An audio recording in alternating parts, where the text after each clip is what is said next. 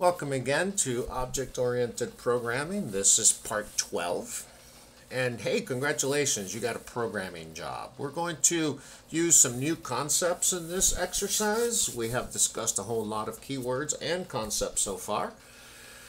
This exercise uses quite a few of these. So let's review keywords and Python functions, in particular all those you see here. Range, format, enumerate, append, open, for, break, let's look at concepts. We're going to print, but we're going to print to a file handler, not to the screen. Last exercise, we read from a file. Now we're going to write to a file. We're going to highlight it to reinforce it's a concept, not just some arbitrary word. Okay, anything that's a concept is going to be highlighted in yellow. Nested loops, that's a loop within a loop. Remember not to have infinite loops, those are bad, they never ever end.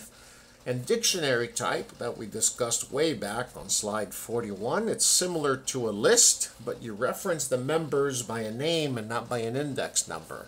So knights, we have Galahad and we have Robin, as opposed to, you know, knights sub 0 and knights sub 1, we have knights sub Robin, which is more legible. Quick review of range.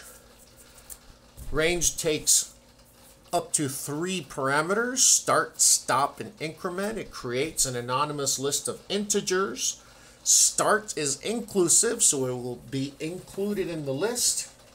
Stop is exclusive, it will not be included in the list. So if you say range 0, comma 4, you will get four integers, 0, 1, 2, and 3. Format uses the format specification mini language to make pretty strings, and there's a link there for you. Enumerate, this is a nice one. It creates a list of two element tuples.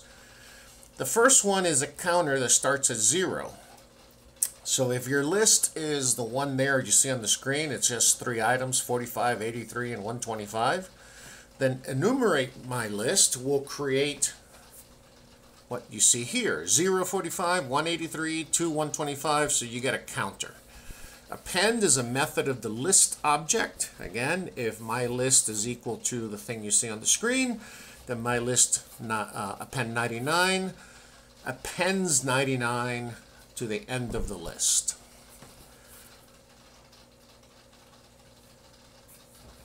Open opens a file, creates a file handler for you. A file handler, again, is a pointer to the file on the network, the hard disk, or wherever.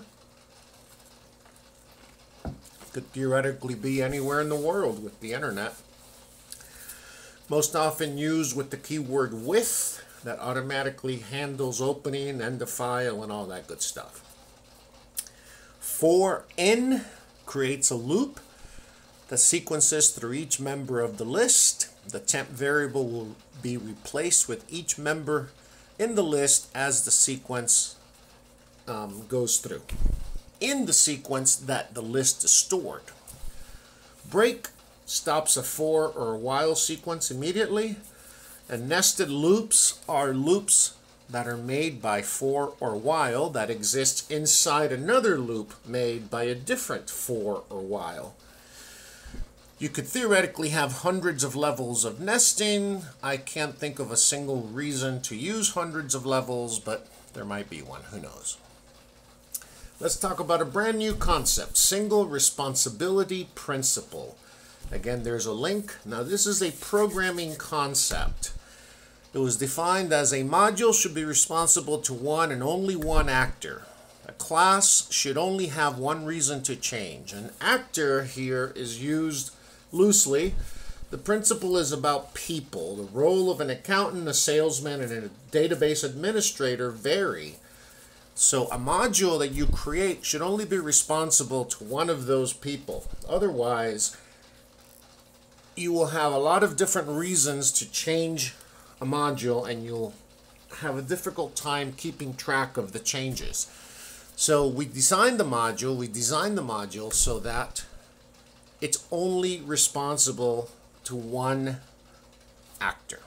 And that gives us only one reason to change the class. And you'll slowly ease into this concept as we design more programs. Separation of concerns. Again, another link. Similar, it's related to the single responsibility principle. Modularity of code is achieved using the separation of concerns. A module should only do one thing. We call that the concern. It should do only one thing and it should do it well. If you do it like this, then the prior principle, that it should only have one reason to change, will also be fulfilled. Beginning programmers often believe that this is similar to, you may have heard the term reduced to the ridiculous or reductio ad absurdum, which is a famous philosophical position dating back to the Greeks. Seriously, this goes all the way back to the Greeks. It's a common sales tactic. If you've ever heard, you need to buy this car, it's only $1 a minute, or something like that, you're reducing it to the ridiculous.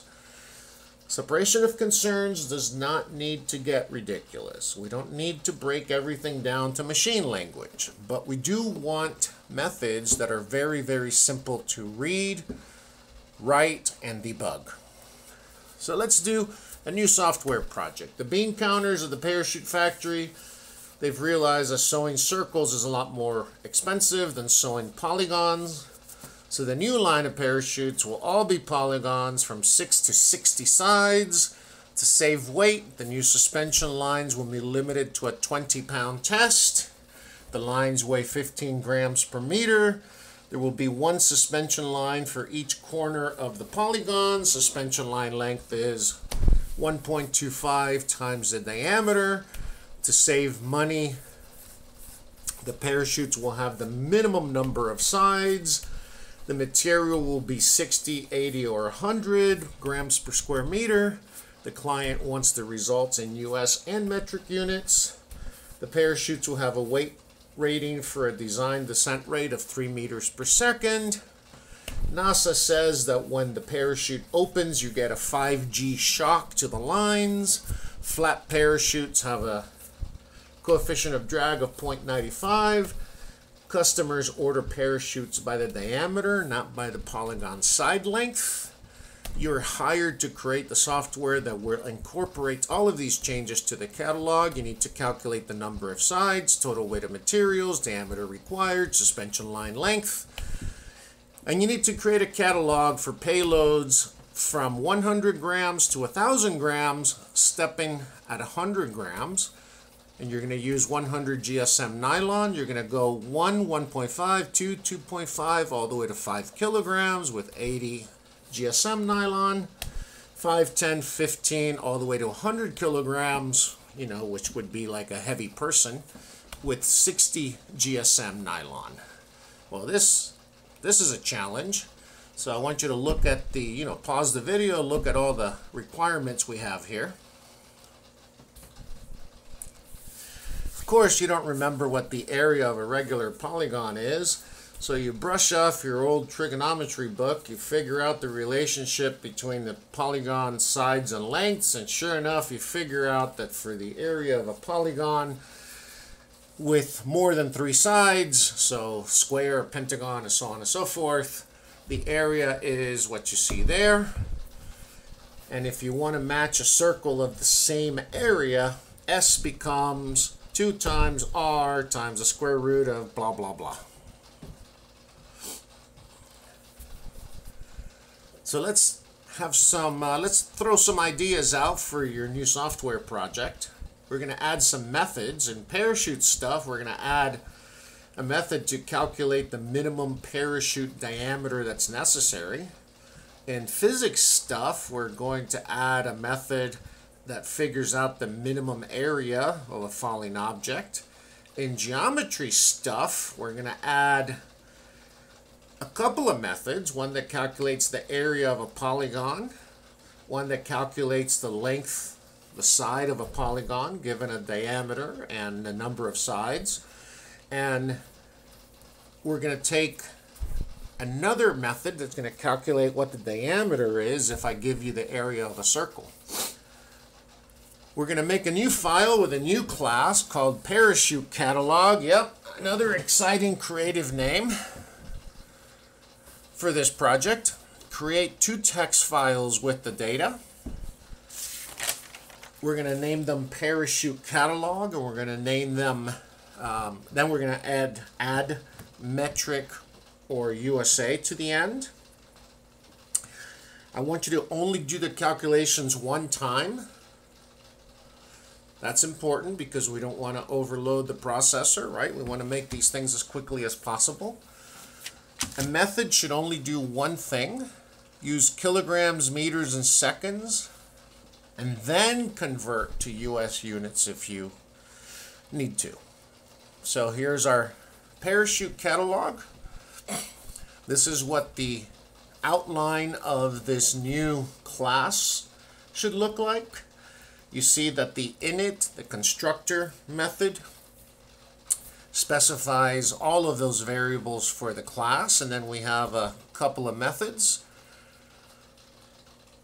Those variables store the information that the customer is giving you.